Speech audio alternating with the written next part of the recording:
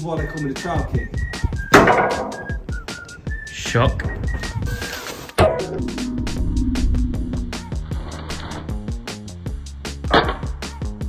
Oh my god, check it, check it!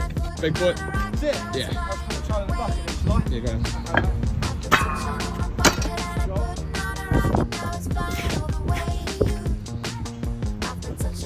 Oh, it goes right in my bucket.